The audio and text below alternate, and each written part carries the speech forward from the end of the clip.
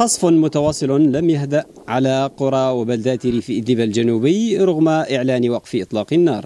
عشرات القرى والبلدات ما زالت أهدافا لمدفعية قوات النظام بل حتى للطائرة الروسية استهدفت أبرز المنشآت والمراكز الحيوية في المنطقة.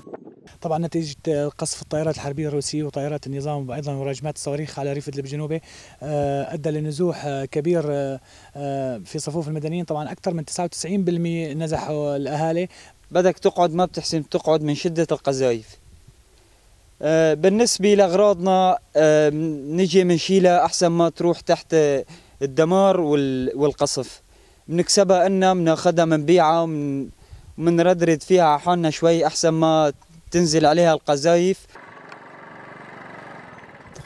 بين القذيفة والأخرى يستغل أهالي المنطقة الفرصة لإخراج بعض أثاث منازلهم وحاجياتهم الأساسية بعد نزوحهم إلى مخيمات الشمال السوري. رحلة قد تكون طويلة بسبب عدم ثقتهم باتفاق وقف إطلاق النار الذي تم خرقه مرارا وراح ضحيته آلاف المدنيين. الناس هنا لم تعد تثق بالهدنة على الإطلاق. لأن الهدنة الماضي تعلمنا منها رجعت العالم على بيوتها وعم بتنظف وكنا مبسوطين والناس فرحانة بالهدنة قام النظام طلع بالطيران وبالمدفعية وبلش قصف على الناس فاضطروا للعودة فورا. وحتى في ناس ما نزلوا أغراضهم من السيارة بالنهار اللي اللي إجوا فيه رجعوا فيه. عشرات الاتفاقيات السابقة لوقف إطلاق النار ربما كانت نماذج كافية للأهالي لعدم الثقة.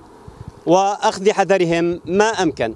عبد الرزاق صبيح حلب اليوم ريف إدلب.